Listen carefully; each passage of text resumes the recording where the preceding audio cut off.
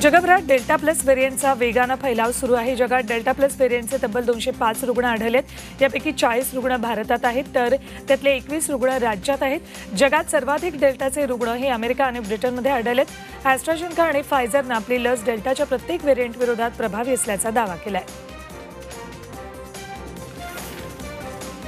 मध्य प्रदेशात delta plus या कोरोनाच्या म्युटंटमुळे आतापर्यंत पाच जणांचा बळी गेला आहे उज्जैनमध्ये एका महिलेचा काल डेल्टा प्लसमुळे मृत्यू झाला. या महिलेचे सॅम्पल्स जिनोम सिक्वेन्सिंगसाठी पाठवले होते. त्यात या व्हेरियंटची पुष्टी झाली. मध्य प्रदेशात तीन रुग्ण भोपाळ आणि भोपाळ आणि उज्जैनमध्ये दोन रुग्ण दगावले आहेत. सर्वात मोठी झोपडपट्टी असूनही धारावी आता नो पेशंट झोन होती जूनमध्ये तिसऱ्यांदा धारावीत शून्य रुग्ण आहेत. सध्या धारावीमध्ये दहा ऍक्टिव्ह रुग्ण आहेत. तर धारावी पॅटर्नच्या फोर टीला यश आलेलं आहे. पहिल्या लाटेत धारावीला मोठी झळ बसलेली. दुसऱ्या लाटेत चाचण्या आणि लसीकरणावर भर दिल्यामुळे धारावी नो पेशंट झोनमध्ये आली आहे तर दादरमध्ये बुधवारी चार रुग्ण वाढले तर माहीमध्ये सुद्धा चार रुग्ण वाढले. राज्यात चोवीस तासात दहा हजार सहासष्ट कोरोनाबाधित आढळलेत. सोमवारी हा आकडा सहा हजारांच्या घरात गेला होता. मात्र त्यानंतर सलग दोन दिवस दोन दोन हजारांची वाढ झालेली आहे. चोवीस तासामध्ये राज्यात एकशे त्रेसष्ट रुग्णांचा मृत्यू झालाय. तर अकरा हजार बत्तीस रुग्णांनी कोरोनावर मात केली आहे. तिकडे कोल्हापूर जिल्ह्यातल्या रुग्णांची संख्या दिवसेंदिवस वाढते. चोवीस तासात जिल्ह्यात एक हजार सातशे पंचवीस नवे रुग्ण आढळलेत. जिल्ह्यात तेहतीस हजार सहाशे सोळा कोरोना तपासण्या करण्यात आल्यात. काल दिवसभरात तेहतीस रुग्णांचा मृत्यू झाला. पालकमंत्री सतीश पाटलांनी कोल्हापुरात एक खास होर्डिंग लावलं. या होर्डिंगवर कोरोना काळात आरोग्य यंत्रणेला मदत करणाऱ्या सर्वसामान्य नागरिकांचे फोटो आणि नावं छापलेत. त्यांच्या कामाची माहिती व्हावी हा हेतू आहे. अन्नदान करणारे रुग्णांच्या नातेवाईकांच्या जेवणाची व्यवस्था करणारे रुग्णवाहिका चालवणाऱ्यांचंही अभिनंदन केलं आहे. थकीत बिल भरण्यासाठी ग्राहकांना काही प्रमाणात दिलासा मिळावा यासाठी हप्त्यानं बिलं भरण्याची सवलत देण्यात आली आहे कोरोना महामारीमुळे आधीच अनेकांची परिस्थिती बिकट आहे. त्यात आता तिसरी लाट येणार असल्याचा इशारा दिला त्यामुळे ग्राहकांवर भार पडू नये म्हणून हप्त्यानं वीज बिल भरण्यास परवानगी दिली आहे अशी माहिती ऊर्जामंत्री नितीन राऊत यांनी दिली आहे बारावीच्या विद्यार्थ्यांसाठी महत्त्वाची बातमी येत्या अठ्ठेचाळीस तासात निकालाचे निकष ठरणार आहेत. येत्या महिन्याभरात निकाल घोषित करण्यात येतील. त्यामुळे बारावी निकालाची प्रतीक्षा आता संपणार आहे. राज्यात लसीकरणामध्ये सातत्य राखण्याचा प्रयत्न केला जातोय. आतापर्यंत दोन कोटी एक्क्याण्णव लाखाहून अधिक नागरिकांचं लसीकरण झालंय. बुधवारी दिवसभरात सहा लाखाहून अधिक नागरिकांचं लसीकरण झालं. मंगळवार आणि बुधवारी उच्चांकी लसीकरण झालंय. मुख्यमंत्री आणि आरोग्यमंत्र्यांनी विक्रमी लसीकरण राबवणाऱ्या आरोग्य विभागाचं कौतुक केलंय.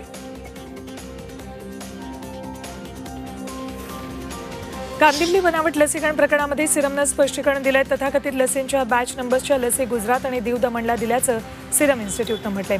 त्याची खातरजमा करण्यासाठी बीएमसीनं सिरमला पत्र लिहिलंय. या लसींच्या रिकाम्या वाल्स अजूनही पोलीस हस्तगत करू शकलेले नाहीत. या प्रकरणामध्ये कांदिवलीतल्या रहिवाशांना कोरोना प्रतिबंधक लस दिली की आणखी काही हे अजूनही स्पष्ट झालेलं नाही.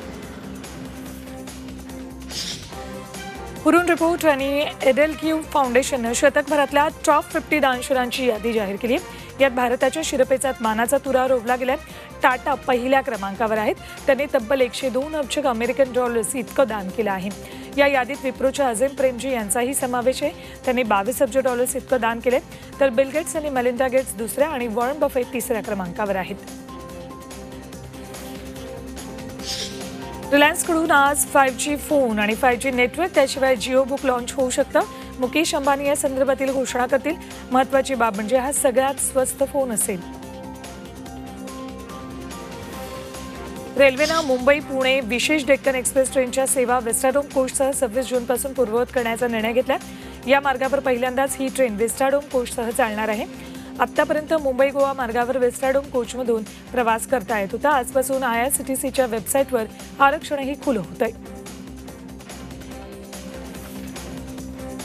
टोकियो ऑलिम्पिकसाठी भारतीय टीमचं थीम सॉन्ग लॉन्च झालंय. ऑलिम्पिक डेच्या निमित्तानं हे थीम सॉन्ग लॉन्च झालं. गायक मोहित चौहाननं हे थीम सॉन्ग गायलंय. क्रीडामंत्री किरण रिजिजू यावेळी उपस्थित होते. इंडियन टीमचा उत्साह वाढवण्याचं आवाहन रिजिजूंनी क्रीडाप्रेमींना केलं तीर की तरह तू चल चूके ना निशाना। तेरे साथ तिरंगा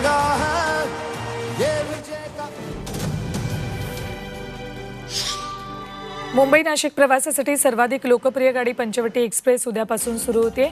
लॉकडाऊन पूर्वी मुंबईला नोकरी करणारे अनेक चाकरमानी या एक्सप्रेसनं अपडाऊन करत असत. कोरोना काळात पंचवटी एक्सप्रेस बंद केली होती. ही एक्सप्रेस सुरू होणार असल्यामुळे किमान दहा हजार प्रवाशांचा प्रश्न सुटेल. केवळ कन्फर्म तिकीट असणाऱ्यांनाच प्रवासाची परवानगी देण्यात येईल. एक्सप्रेसचा मार्ग वेळ आणि थांबे यात कुठलाही बदल झालेला नाही. राज्यात येत्या आठ दिवसात पावसाची शक्यता नाहीये. त्यामुळे शेतकऱ्यांनी पेरणी टाळावी असं आवाहन कृषीमंत्री दादा भुसे यांनी केलं ऐंशी ते शंभर मिलीमीटर पाऊस झाल्याशिवाय पेरणी करू नये असा सल्ला त्यांनी दिला राज्यातल्या चौदा तालुक्यामध्ये पंचवीस टक्क्यांपेक्षा कमी पाऊस झालाय. तर पस्तीस तालुक्यांमध्ये पन्नास टक्क्यांपेक्षा कमी. तर दोनशे बत्तीस तालुक्यांमध्ये शंभर टक्क्यांपेक्षा जास्त पाऊस पडला आहे. येवला बाजार सचिव कार्यालय आणि मुख्यालयाबाहेर शेतकऱ्यांनी ठिय्या आंदोलन केलं. कांदा लिलावावेळी कांद्याचे रोख पैसे व्यापाऱ्याकडे मागणाऱ्या अक्षय गुडगे या शेतकऱ्याला मारहाण करण्यात आली होती.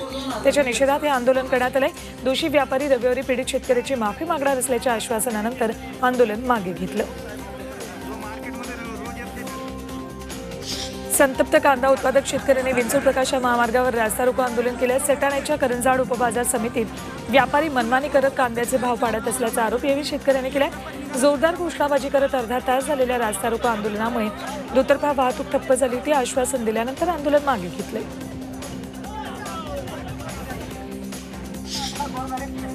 पंधरा टक्के व्याजासह उसाची थकीत एफ आर पी मिळावी यासाठी कोल्हापूर जिल्ह्यातल्या जयसिंगपूरमध्ये आंदोलन झालं. अंकुशच्या वतीनं उदगाव टोलनाक्यावर रस्ता रोको करण्यात आला. यावेळी पोलीस आणि आंदोलकांमध्ये झटापट झाली. पोलिसांनी एकवीस आंदोलकांवर गुन्हे नोंदवलेत. पाच दिवसांपासून सुरू असलेल्या आंदोलनाची दखल न घेतल्यानं अखेर रास्ता रोको करण्यात आला. नाशिकमधल्या निफाड तालुक्यात गोंडेगावमध्ये गायीचा डोहाळे जेवण सोहळा दिमाखात पार पडला. शेतकरी असलेल्या दाते कुटुंबियांची कपिला गाभण आहे. दाते कुटुंबियांनी प्रेमानं तिचं डोहाळे जेवण केलं. तिला सजवलं फोटो काढले सुहासिनींनी औक्षण केलं. हिरवी साडी चोळी देऊन तिची ओटीही भरली. यावेळी महिलांनी डोहाळे जेवणाची खास गाणीही म्हटली.